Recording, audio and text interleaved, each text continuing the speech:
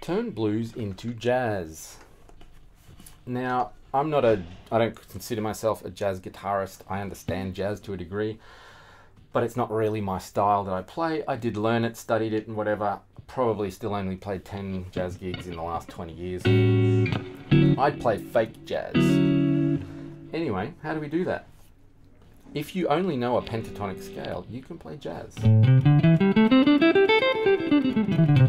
If you've got your blues scale sorted out, you can play jazz. For instance, if we're playing an A minor chord, good old A minor pentatonic or blues,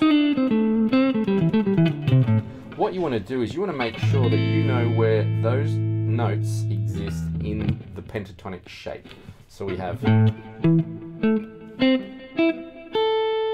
notes. If, for instance, I now take this note up an octave, it gives me another note that was already in that shape. If I take, uh, let's say this one up an octave, that's the same note. It's already within the chord shape. If I then take this one up an octave, it gives me this fret. So there's another note, it's in the scale.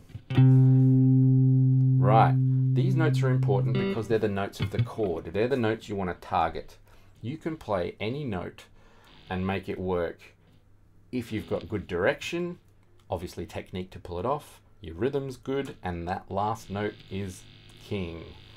So, for instance, if I'm playing my pentatonic shape, I want to finish my lines on every string on these notes of that chord shape. So I can play the pentatonic scale is like a skeleton of this chromatic stuff I'm going to do. And chromatic is every note for those who don't know. So I'll play.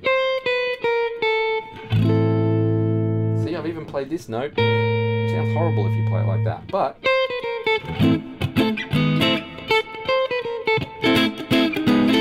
There you go. So if I apply this now to every string.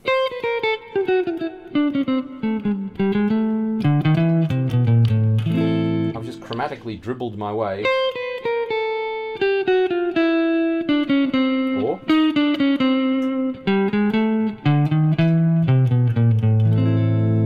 That was the simplest way of doing it, just chromatically going down.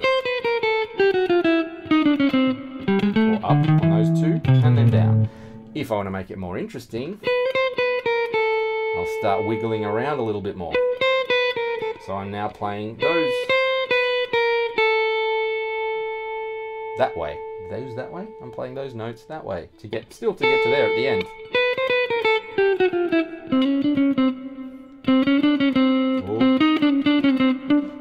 Do whatever. Whatever way your fingers wiggle, try and wiggle them towards a good note. If I start thinking of patterns, you know, that kind of concept. Get to it any way you want. You can go behind the chord if you want.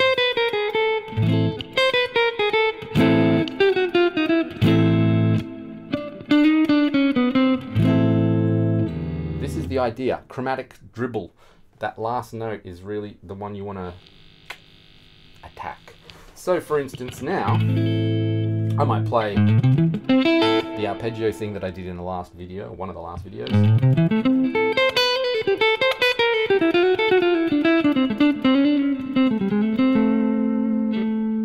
Jazzy.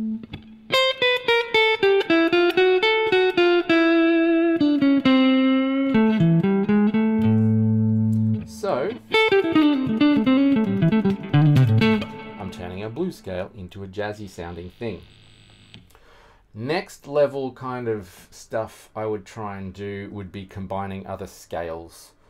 If you know your Mixolydian scale, this is helpful because between the pentatonic slash blues scale and the Mixolydian, you end up getting chromatic notes. It's almost every note available. So now, when I'm playing my A7 chord, I might play a little bit of blues.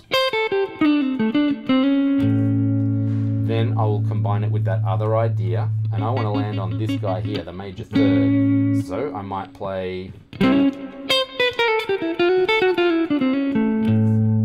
something like that, or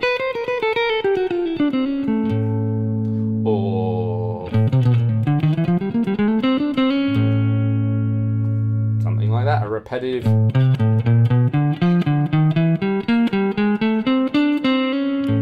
repetitive pattern. Change the pattern. Do whatever you want. This is just an idea of how to make it sound jazzy if you want to sound jazzy. Doesn't have to sound jazzy. You can make it sound rock and roll. One of the main differences is the the swing that you put in it. For instance, if I play the scale in a rock and roll kind of way, it would be straight da da da da da da da da. If I'm playing blues or jazz, they come from the same swung rhythm.